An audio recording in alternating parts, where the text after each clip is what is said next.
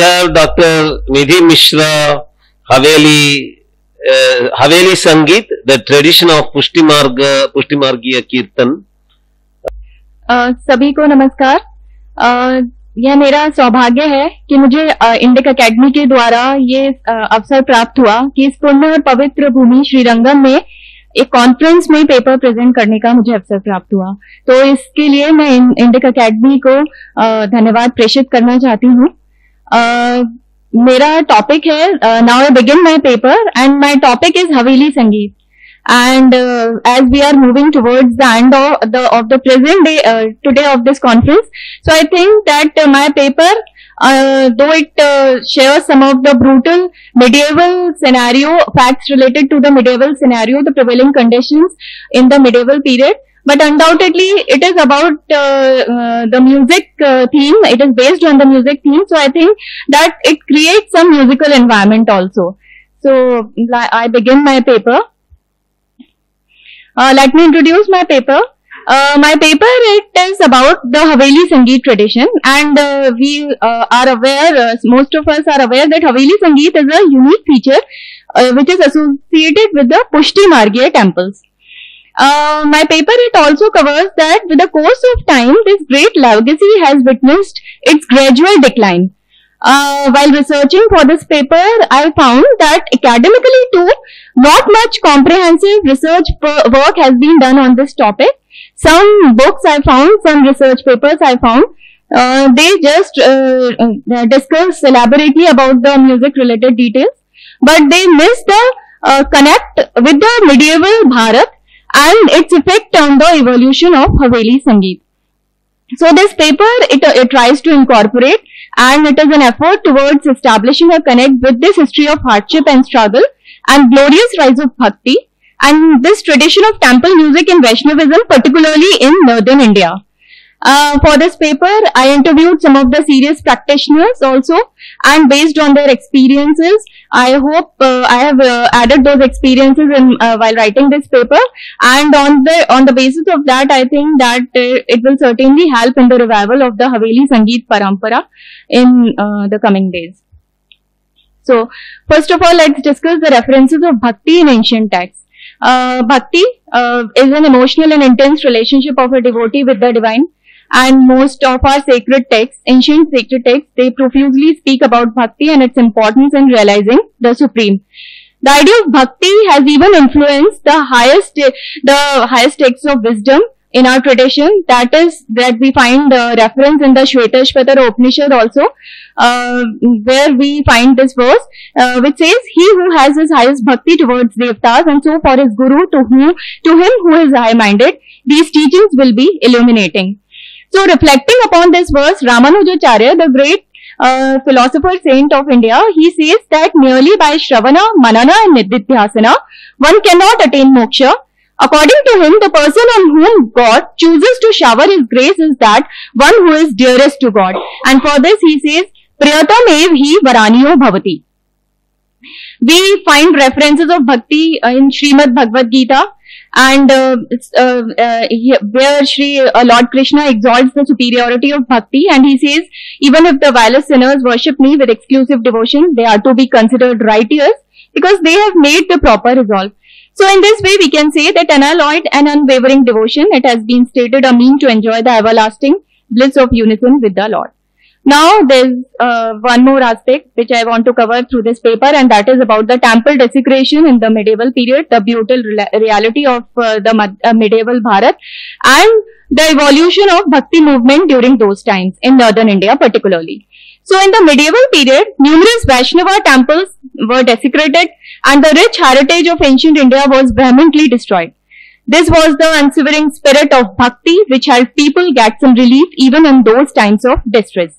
In such atmosphere of deep disappointment, many dharmic devotees they came forward and they acted as the beacon light for the disheartened Hindu community. And so, as a result of that, enormous offshoots of the Bhakti Marg, primarily in Vaishnavism, they came into existence. And some worship the Saguna uh, Swarup of the ultimate, and some worship the Nirguna Swarup, but the final aim remained the same, that was to surrender oneself to the Lord. In this, uh, in alignment with this Saguna form of Ishwar Bhakti, There originated the Pushti Marg. As my previous speaker has uh, uh, shared some of the things which I have covered in this paper, uh, Pu- Pushti Marg in the 16th century, and it was based on the bhakti of Lord Krishna as Srinath ji. And Vallabhacharya who was the proponent of this act, he says, because here I am establishing a connect with the then scenario, the then uh, scenario of turbulence and tumult, in the uh, sharing his, uh, or lamenting over that scenario, Vallabhacharya in Shang, uh, Sri Krishna Shray, uh, a part of Shodash Grantha, he speaks about his age in this manner. He says, here I am quoting him, he says, the Mlechchhas have surrounded all the holy places with the result that they have become infected with evil. Besides, the holy people are full of sorrow. At such a time, Krishna alone is my way. So he experienced that in those times it would be difficult for people to practice even the simpler rituals of devotion. So he experimented with a new form of bhakti, naming it Pushti. And Pushti is the way towards attaining the foremost grace of Ishta, Lord Krishna through devotion and selfless service. So in the Bhagavad Puran, as it has also been discussed previously, there are nine types of bhakti. Shravanam, Kirtanam, Vishnu, Smaranam, Pada Sevanam, Archanam, Vandanam, Dasyam, Sakya, Atma Nivedanam. Nivedanam. So among these, Kirtana holds a prominent place. Henceforth, Pushti Margya temples of Vallabha they too became the major centers of this kind of Kirtan Bhakti. In the Vikram Samvat 1556, when Vallabhacharya was staying at some village in Govardhanji in the Braj, he received this information of the appearance of some of a divine uh, Bhagavad Swarupa from the cave uh, in Giraj mountain. He immediately went there and there he found that Swarupa and he gave it the name Srinath ji. And so immediately a rough shelter was also erected over the Swarupa. And so began the tradition of the service of Lord in the temples in the form of a small child. Service in the form of kirtan began as soon as uh, the this uh, practice began, and soon after that, the service in the form of kirtan began. And so, uh, Vallabhacharya himself appointed Kumban Das ji as the foremost disciple, and he was the first kirtaniya of Srinath ji. Kirtaniya is the kirtankar. Uh, in the course of time, this kirtan tradition, it was called Haveli Sangeet, as during uh, that time in the medieval period, the term Haveli was applied to the temples of the Pushti Marg in uh, Gujarat and Rajasthan particularly. And uh, it in the beginning, it was the desire of uh, Vallabhacharya that majestic Haveli should be constructed uh, for Lord. But later on, uh, we can we know that uh, during the reign of Aurangzeb, out of fear of destruction, this practice of building huge temple Havelis stopped. Yet the name of these temples remained the same and the deities had to be kept hidden in the smaller houses of the devotees, yet the rituals of their worship uh, continued fervently, and this perseverance resulted. This is very remarkable. The perseverance it resulted in the unhindered flow of bhakti and its praxis among the bhaktas till today in its original form only. Now, Ashtachap and the Kirtan tradition in Pushti Marg the tradition of Seva started by Vallabhacharya ji, it continued during the time of his son Vittal ji also. So finally Vittal ji himself, he himself was a great poet and musician. He thought of giving a systematic form to all this. And so as a result of this, he created uh, this group Ashtachap, which was a group of eight devout devotees consisting of four ardent sevaks of his father, Sri Kumbhandas, Sri Surdas, Sri Paramananda, Sri Krishnadas, and four of himself, Sri Govinda Swami, Sri Chit Swami, Sri Chaturbhuj Das ji, Sri Nandadas ji. And all of these eight poets, they were the brilliant poets and as well as singers. And Vittal Naji named it Ash- Ashtachap or uh, in the common parlance it has been said Ashtasakhas. The poetry is written and then sung by these Ashtachap poets. The eight reprints of the Lord were the zenith of devotion eh, towards their Ishta, Bhagwan Krishna. So here is another aspect also in the medieval period.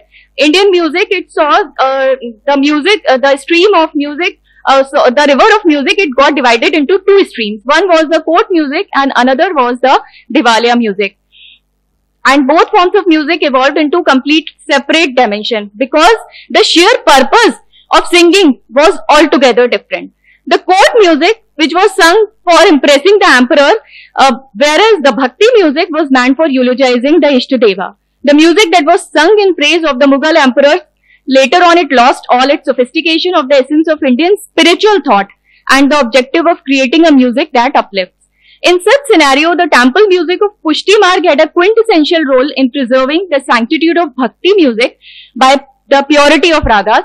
All efforts of Ashtachap poets were directed towards keeping the perennial spirit of bhakti alive in its pureness through their kirtanas. The kirtankar showed superior resilience to then forces of distortion and saved music from any sort of undue corruption. The first kirtankar of Ashtachap Kumbandas ji was a popular singer of his time. That is why Vallabhacharya ji, he directed him to offer his kirtan as worship before the Lord. Haveli Sangeet, it has a corpus of his padas so many padas of Kumbhandasji are there and which are sung regularly in the uh, temples. The most popular is, uh, here I have quoted, Girdar Lal Rasbhare, Kelat Vimal Vasant Radhi, Radhika Sang, Udat Gulal, Abir Argaja, Chirkat Bharat Paraspar Rang, Bajat Tal Mridanga and Dhuti, Bina Murali, Tana Tarang, Kumbhan Prabhu Vidhi Krida, Jamuna Pulin Lajavat Anang. The other well-known uh, and the most esteemed Ashtachap poet of Haveli Sangeet is uh, Surdas Ji. It has been uh, discussed before also in some in a paper, and he was blind by birth. But uh, this limitation, it did not become a barrier for him in his path of manifesting his reverence towards Sri Krishna by composing impressive padas of devotion in one of the prasangas of the Varta literature. Varta literature was also discussed before. So, um, they, uh, this all I, I think you know that it is mentioned that once Girdhari ji, son of Naji, he played a trick upon Surdas ji and so after bathing the Swarupa of Lord, he put no clothing and asked Surdas ji to sing and to his surprise Surdas ji sang exactly as the Lord looked at that time. Everyone now came to know that Krishna lived in his heart and he views uh, Lord with the help of his inner vision. His language was simple yet full of multi-layered meanings which delighted even the ordinary audience. Among almost all his compositions are quite popular. The most important of these I have quoted here. So I am rushing through. There is an anecdote from the life of Chaturbhuj Dasji. Sri Chaturbhuj Dasji used to sing all the divine pastimes of Lord everywhere. Srinathji had bestowed such blessings on him. And uh, one day Kumbhandasji was having a vision of the pastime of Lord in which the Lord was sleeping. So he started singing these verses. वे देखो बरत झरोकन दीपक हरी पौधे ऊंची चित्र Look there, the lamp is burning behind the curtains and the Lord is sleeping. Shri Kumbhan Dasji sang this much then Chaturbhuj Dasji he started singing गए उठी सुंदर बदन निहरन कारण बहुत यतन रखी कर प्यारी on hearing this Kumbhan Das ji understood that Chaturbhuj Das ji he has got complete divine experience by the grace of Shri Gosai ji Shri Kumbhan Das ji was very please to see this grace so these mystical poetries of the poets of Ashtachhap complimented the seva tradition of the Pushti Marg and gave, gave new dimension to the Ashtayam Puja. Nam Sankirtan is the only mean to feel the divine bliss. And uh, being a Vaishnava saint, Acharya Vallabha had witnessed the chanting of Sanskrit verses as a mean of worship in the normal Vaishnava temples. So he uh, thought of uh, trying to replace the same ritual with the verses in the Braj dialect. So here uh, we can see the difference. So uh, in the regular Vishnu temple, the verse is Uttisht for waking of the lord उत्तिष्ट उत्तिष्ट गोविंद उत्तिष्ट गरुड़ ध्वज उत्तिष्ट कमलकांतम त्रैलोक्य मंगलम कुरु well the in the Pushti pushti haveli संगीत uh, sangeet the pad sang is like jagiye जननी बलि जाई उठो तात भयो प्रात रजनी को तिमिर घटे आयो आए सब ग्वाल बाल Mohana Kanhai so there this is the difference between the pada sung in the normal Vishnu temples and the Pushtimargiya temples so what is important is the bhav of the uh, kirtankar. While singing, the bhav of the kirtana is an important aspect of the devo- uh, of the display of love towards the Lord. The verses composed by the poets are full of vatsalya, sakhya, shringar, sayog, viyog, वीर रस अद्भुत रस रौद्र रस वैराग्य के पद सौंदर्य बोध etc. The ragas of the kirtans in the Pushti Margya temples are typically based on the classical theme of the Bharatiya music tropas. The use uh, the usual tal uh, while singing hymns are chautal, archa, chautal, dhamar, teen tal, etc. And uh, Sri Gosai ji he set up nine forms of the Lord to be worshipped by his disciples, and these are commonly called nidhis of the Lord. Nidhi means an ocean limitless. The Nidhi Swarupas are indeed the ocean of grace.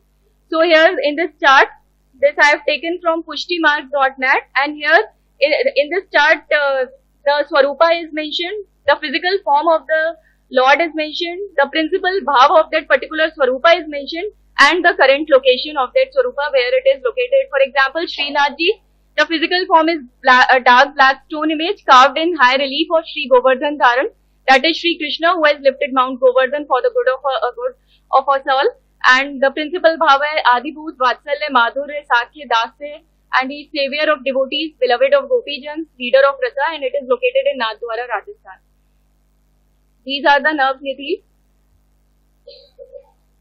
So, Aurangzeb's reign and relocation of Srinathji uh, and other Pushti Margya deities. So, all the suffering suffered by people of Bharat for centuries was only the build-up to the heights of religious bigotry that was to befall the country in the reign of Aurangzeb. We all are very much aware of this fact of Bharat. Aurangzeb issued a firman in 1669 ordering the demolition of every single temple in India. Images and idols of deities were destroyed on a large scale. So amid fear of destruction, many, many deities of the Pushti temples were secretly concealed and transported to secure locations. A specific case of the image of Srinathji can be considered. The image, this is very important and it shows the utter devotion of the people at that time and how they saved our deities. The image was initially shifted from Govardhan to Agra and secretly worshipped in the house of a devotee. Another image of Navneet Priyaji from Gokul was also concealed there. Then both deities, they left for Kota and from Kota to Kishangarh. From Kishangarh, they traveled to Chaupasini, Jodhpur. The priest asked Rana Raj Singh of Mewar, he is the grandson of uh, uh, Rana Pratap Singh, uh, Maharana Pratap Singh. So he asked, uh, uh, he takes permission from uh, Rana to settle in Mewar. Rana permitted and when the deity reaches spot at village Sehat, the wheels of the bullock cart in which the deity was being transported sank axle deep in mud and could not be moved any further. The accompanying priests realized that a particular place was the Lord's chosen spot and accordingly a temple was built there under the protection of Maharana Raj Singh of Mawar. Mewar. Sorry. Srinathji temple is also known as Haveli of Srinathji. The saga that brings goosebumps how our deity was concealed, moving from place to place and finally reaching to the safer destination and how the local people and the priests performed all the Nitya Karma Puja even in their state of obscurity. So here is the conclusion. Though this tradition of Haveli Sangeet is five centuries old, yet it is the most authenticate and adulterated style of music, Bhakti music of Vaishnavism. The credit of it goes to the serious practitioners of this art who challenged every attempt of interference with its purity, uh, a vivid lesson to all of us to save our civilization just like our ancestors who ensured the continuity of culture by sacrificing everything. Regrettably, this form of devotional music is on the verge of decline. In this age of rap or pop music, very few people are inclined towards it, particularly the youngsters are in oblivion of this heritage. So, my paper, I hope, it fulfills its intent of being an effort in the direction of exploring and articulating the role of Kirtan tradition in preserving and expanding Vaishnavism in the medieval times in North India.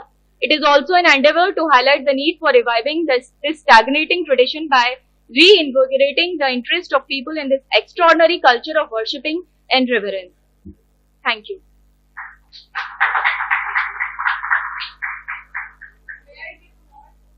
Yeah, yeah, yeah, because Pushti Marg Pushtimarg and Maitriji not speaking. Yeah.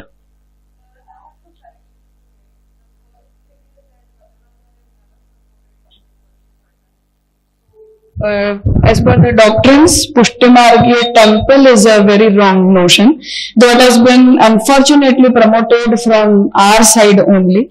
But uh, as per the doctrines, it is not the thing. So Vallabhacharya says, Grahe swadharmataha. So it is completely a private affair and the whole worshipping pattern should be happened in a secretive way. The Haveli term was uh, wrongly related with Vallabh Sampradaya and that's why even the tradition, the music tradition uh, should be uh, known as Pushtimargya Kirtan tradition rather than using the term Haveli Sangeet. So these are the two major things I wanted to mention. Thank you.